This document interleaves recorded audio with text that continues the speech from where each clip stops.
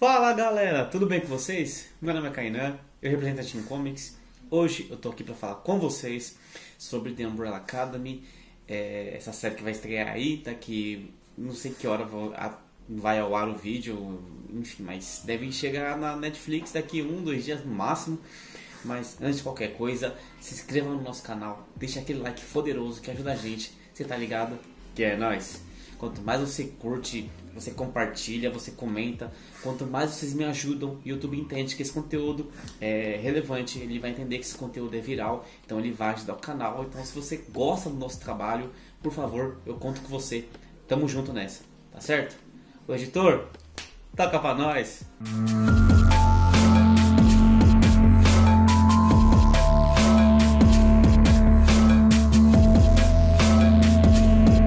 Então, rapaziada, The Umbrella Academy uh, é uma série que eu confesso, eu demorei muito para assistir.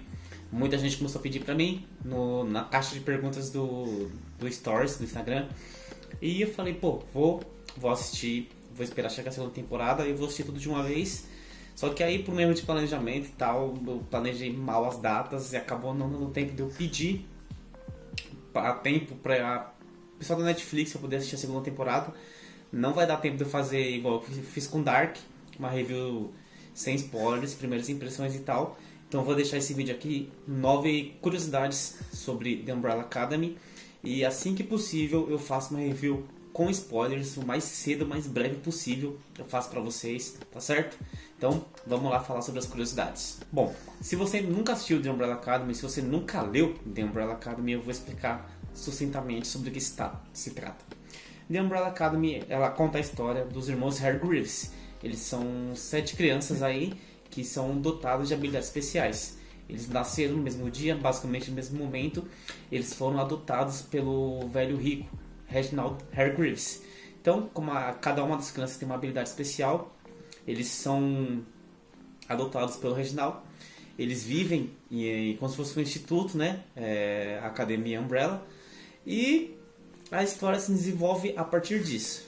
Para quem não sabe, já vou trazer aqui a primeira curiosidade. Para quem não sabe, essa HQ, né, que foi baseada a adaptação da Netflix, ela foi escrita, criada pelo Gerard Way. Para quem não conhece, ele é vocalista da banda My Chemical Romance, o que pode ser uma grande surpresa para você que está ouvindo isso agora. Além disso, temos o fato atenuante sobre a criação dos HQs e tal. O ilustrador das HQs ele é brasileiro, o Gabriel Bá. Ele é um cara muito respeitado fora do país, ele é um cara muito conceituado lá fora. E não vou dizer que é uma pena é, os ilustradores serem tão é, famosos e respeitados aqui, porque na comunidade nerd ele é muito, muito conhecido, mas eu acho que ele poderia ser mais valorizado ainda aqui dentro, né? Mas aí já, já é uma questão cultural que não vem ao caso agora. A segunda curiosidade para mim é deveras interessante, é, porque a Umbrella Academy ela já, se, já teria, já era para ter sido adaptada, ela teria uma outra adaptação.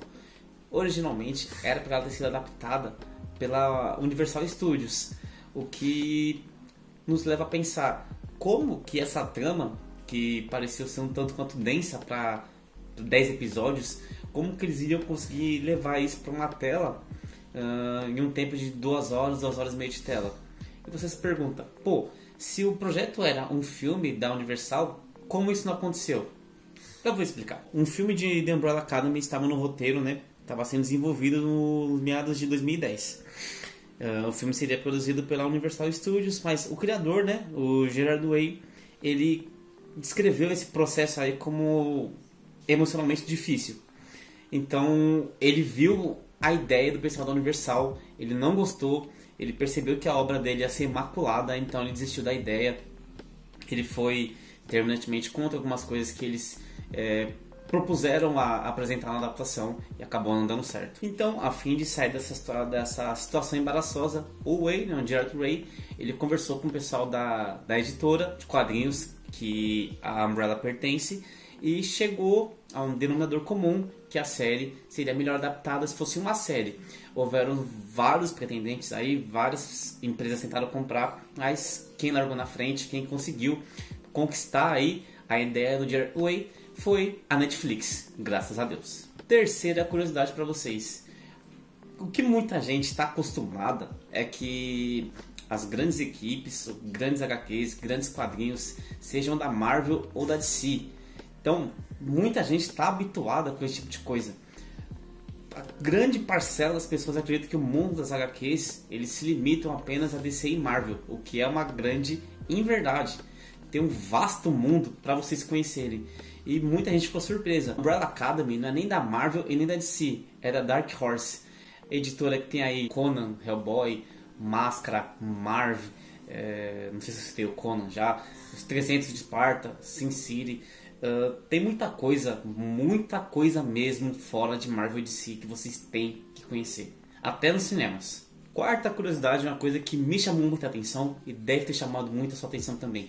Não existe tecnologia no mundo de Umbrella Academy. Muitas coisas teriam sido resolvidas mais fáceis se houvessem celulares em Umbrella, eh, em Umbrella Academy vocês percebem que muitas vezes eles usam o telefone público popular orelhão e você pensa, pô, não era só mandar um WhatsApp. Mas é, eu acho que isso não é um demérito, isso agrega a, a ideia da série. Cada vez mais é, a gente tem que humanizar aí os personagens, humanizar os heróis. Eles têm muita pegada de, de personagens da DC, de serem divindades, mas também eles são muito humanizados como os personagens da Marvel. Então acho que eles chegaram num bom meio termo entre os dois e esse lance de não ter tanta. Mesmo que seja uma, uma época contemporânea a série, não ter tanta é, tecnologia para auxiliar os seres humanos, isso não é um demérito, para mim é um fato que agrega e, enfim, ajudou muito na construção da história. Quinta curiosidade: o principal ator, aliás, o principal personagem, né, basicamente falando, é o número 5. Número 5 é esse que quase não foi encontrado para a série porque o Steve Blackman, que é o showrunner da série, ele quase não achou o ator perfeito para esse personagem. Ele literalmente achou o ator nos 45 do segundo tempo, ele já tinha praticamente desistido. E eu não sei o que ele ia fazer se ele não achasse o ator perfeito. Ele ia usar o que? Uma computarização gráfica? Sei lá. Sei que quando ele achou o Aidan, ele simplesmente pensou: é o cara não tem mais jeito e combinou perfeitamente pro papel. E é incrível como um garoto de 15 anos ele consegue contracenar, contracenar tão bem ou melhor quanto seus companheiros que são bem mais velhos do que ele. Sexta curiosidade. Nas HQs, no volume 2, é revelado que o número 1 e o número 5 eles são irmãos gêmeos. E você se depara com isso. Mesmo que você não tenha lido HQ, você assistiu, você pensa, mano, isso é impossível. Só que antes de acontecer essa, essa parada com o número 1, um, é, lembramos que todos eram garotos, né? Então, sei lá, não é tão irreal isso ser explorado numa, nessa segunda temporada. E eu espero que seja, porque é uma coisa que eu acho que vai agregar muito, vai agregar mais ainda a história, a trama de Umbrella Academy. É, eu quero ver como eles vão lidar com esse tipo de situação, se realmente ela for trazida para nós nas telas. Sétima curiosidade. O Tom Hopper, que é o número 1, um, né, que eu acabei de falar dele, ele fez testes para o Thor, cara. Hoje, alguns personagens na Marvel que a gente não consegue imaginar, dissociar, né, de, de seu devido personagem. Eu não consigo olhar para o Robert Downey Jr. sem pensar no Homem de Ferro, assim como o Capitão América, assim como o Thor. Não dá para imaginar o Chris Hemsworth não sendo o Thor. É até estranho ver ele outro papel, né, o Chris. E, então, quando você se depara que alguma pessoa fez um papel pro Thor, você logo pensa: não deu certo, ainda bem.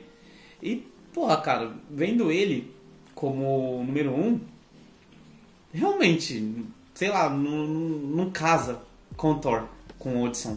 Odinson. Odinson. Odinson. Enfim, oitava curiosidade. Mary J. Blige quem é da old school, quem curtiu rap como eu, bateu o olho e lembrou, porra, é a Mary J. Blige. Cara, eu adorava as músicas dela na época de escola, eu ouvia muito. E para mim foi uma surpresa grande que ela entrou aí na carreira de atriz. Alguns rappers, né, tem essa, essa, essa situação de entrar na carreira de ator, atriz. É, Ice Cube, 50 Cent, enfim. E a Mary J. Blige ela foi uma das únicas, se ela não foi a única na série inteira, assim, do, do elenco, assim, principal que fez todas as cenas de ação sem dublê. Agora, resta saber se ela fez isso por puro prazer, só para dizer que ela conseguiu, que ela é capaz, ou porque ela gosta. Exemplo, Tom Cruise, ele gosta, ele não gosta de, de, de dublê, ele gosta dele fazer cenas de ação. É por isso que ele vive quebrando o braço, quebrando o pé. E a Mary, ela comentou que ela sofreu muito, obviamente, né, pelas cenas de, de luta, é, dores no corpo. Isso é decorrência da, dessas cenas que são perigosas, que realmente exigem um dublê. Mas ela encarnou ali, o papel encarnou o personagem, então vestiu a, o uniforme do personagem da empresa e foi lá. Agora fica o questionamento para vocês. Você acha que realmente compensa o ator uh, se dar esse trabalho, se se dedicar tanto? Vocês acham que não é não compensa tanto, sendo que tem o dublê que está ali, ele é treinado, ele é pago para isso? Fica aí o questionamento. Próxima curiosidade. Ainda não foi revelado como Ben morreu, nem na série e nem nas HQs provavelmente não vai ser revelado na segunda temporada, por quê? Uh, no segundo volume ainda não foi revelado, então isso é... eu terminei a primeira temporada, inclusive eu terminei essa semana, e eu fiquei com esse negócio na minha cabeça, mano, eles passaram a temporada inteira e não falaram como o cara morreu. Então eu fiz o que eu tinha que fazer, fui lá ler, porque quando a gente quer passar informação a gente tem que pesquisar e não tem um simples dado sobre a morte do bem. E isso me deixou muito puto, tá certo? eu fiquei muito curioso. Mas, ok, né? Vamos aguardar aí a segunda temporada. Quem sabe eles dão alguma informaçãozinha pra gente. Se não, a gente tem que aguardar uma próxima temporada ou os próximos volumes das HQs. E vamos encerrar aí as curiosidades falando sobre Hazel e Chacha. Uh, duas coisas que eu quero falar sobre eles. Primeiro, nos quadrinhos, eles são dois homens, diferente do, da série, que é um homem e uma mulher, né? E nos quadrinhos, quem usa aquela cabeça de. cabeça rosa, não sei se é um cachorro, que, que diabo de bicho é daquele. Quem usa aquilo nos quadrinhos é o Hazel, mas na série é a Chacha. Vale ressaltar também que nos quadrinhos eles são totalmente psicóticos. Como eu citei anteriormente, uh, os criadores né, das HQs eles deixaram essa, o pessoal do showrunner assim ter essa liberdade de, de expressão de criatividade de talvez se distanciar um pouco das HQs. Então, para você que leu, deve ter estranhado um pouquinho algumas coisas, principalmente na questão da personalidade da, do Hazel e da Chacha. Tá certo, galerinha? Então é isso. Trouxe aí pra vocês curiosidades. Eu falei que ia falar 9, mas eu acho que eu falei 10. Eu tô empolgado, eu tô com muito sono, já tô pensando na temporada. Eu vou acordar às 4 da manhã, vou assistir tudão, o máximo que eu puder. Não vai dar tempo de assistir tudo de uma vez, porque eu tenho que trabalhar, eu tenho que ir pro restaurante. E depois tenho que ir pra pastelaria. Talvez vocês quando eu voltar, cerca de uma e meia da manhã do outro dia. Mas enfim, eu vou assistir o mais rápido que eu puder para trazer aqui para vocês a review com spoiler mais rápido que eu puder, tá certo?